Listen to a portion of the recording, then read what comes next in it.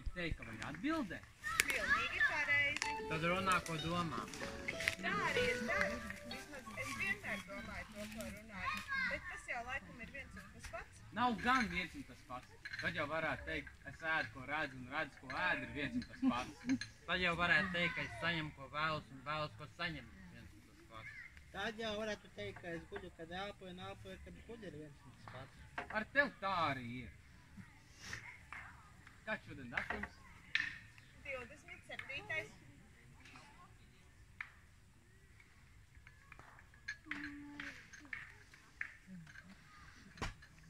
Atpaliek pēc divām dienām. Es tev teicu, sviests pulkstenim nedara. Bet tas bija augstākā labuma sviests.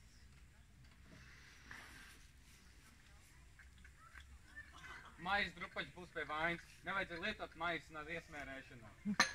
Bet tas bija augstākā labuma sviests. Tas pulkstenis rāda tikai datumus.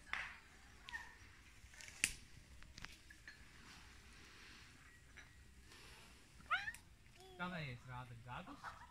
Protams, nē. Gads ilgi ir viens un tas pats. Ar manējiem ir gluži tāpat. Es īsti nesaprotu, ko jūs ar to domājat. Susuriņš iemieg.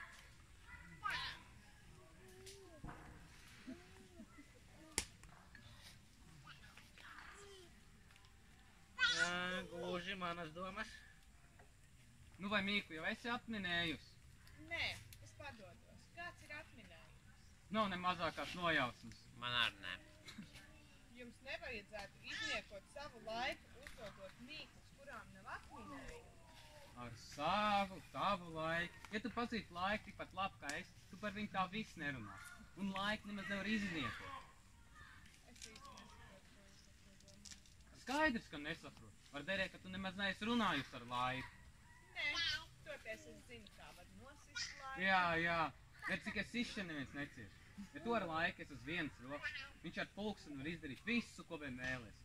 Piemēram, pulkstenis ir pusdeviņi no rīta. Tad skolā sākās mācības. Viņam klusiņām ieķus un rādītāji. Zibēdams skrien uz priekšu. Pusdivi laikzoties pusdienās. Vai kaut tā būtu? Jūs tā darāt? Es ne. Redz, pagājušajā martā, kad viņš kļuva dūls, es ar laiku sastrīdējos. Tas notika lielajā koncertā, kur rīkoja karalieni.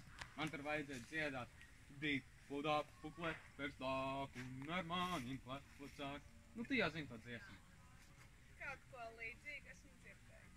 Acis plikšķina, ar lūpām plakšķina, acis plikšķina, ar lūpām plakšķina. Es nebiju ticis vēl līdz pirmā panta beigām, kad karalīna iebļāvās. Viņš nosita laiku, galvu viņam nost. Kopš tā brīža laiks neklaus man. Un pulkstenis rāda vienmēr seši. Ak, tad tāpēc te ir klāts tējas galds. Jā, un tāpēc mums nav neviena brīva brīdī, kam nomazgāt trauks. Kāpēc jūs pārsēžaties par vienu vietu uz priekšu? Jā, tieši tā, izdaram tasīt un pārsēžamies pie nākamās. Bet kas notiek tajā brīdī, kad jūs nonākat līdz tai vietai, no kuras sākāt? Varbūt runāsim par kaut ko citu. Es balsoju par to, ka jaunā lēdī mums izstāstīs kāds pasaka. Šķiet, es nevienu nezinu. Tas stāstīs susuriņu. Susariņ, mostēs! Es jau nemaz draugu nebiju iemītis, es dzirdēju katru vārdu, ko jūs runājāt. Stāst mums pasaka. Un žiglāks vadāk atkal iemits. Reiz dzīvoja trīs māsiņas, Elsija, Lesija un Silvija. Viņas dzīvoja akas dibenā. No kā viņas pārtika? No cukura sīrupa. Tas nevar būt. Tad viņas būtu slimas. Viņas arī bija slimas, ļoti slimas. Kāpēc viņas dzīvoja apkā? Vai tu vēlies vēl teikt? Es nevaru vēlēties vēl tēju, jo neesmu dabūjusi nemaz. Tu gribēji teikt, nevar vēlēties nemaz teikt, saprotams, vienmēr gribas vairāk, nevis nemaz. Neviens nejautāja jūsu viedokli. Kurš tagad izsaka personisks aizrādījums?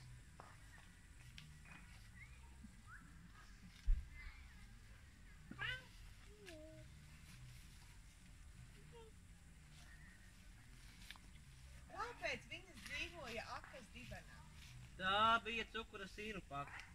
Tādas nemēdz būt. Kurš? Ja neprot uzvest, es arī tālāk stāstīt pat. Nē, lūdzu piedodiet. Gan jau, ka viena tāda aka kaut kur ir. Tiešām viena tāda ir.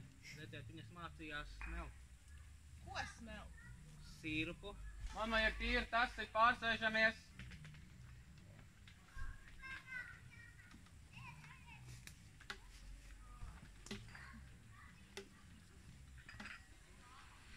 Es nesaprotu, no kurienes viņas smēla sīru. Kā tu nesaproti, no ūdens sāks var smelt ūdeni? Kādēļ gan no sīrupāks nevarētu smelt sīru? Bet viņas taču atradās akas dibenā. Protams, ka dibenā, kur te šīs pašdīs. Viņas mācījās smelt visu, kas sāks ar burtu. Burtu. Mm, Kāpēc ar burtu? Mm, Kāpēc nē? ar burtu. Mm, māli, mēnesi, milzumu. Vai zināt, mēs teiktu, ka jāprot milzu milzumu smelt. Vai tu esi dzirdējis, ka viss smelt vairāk nekā iekšā? Jūs to man jautājat? Nedomāju. Tad nerunā.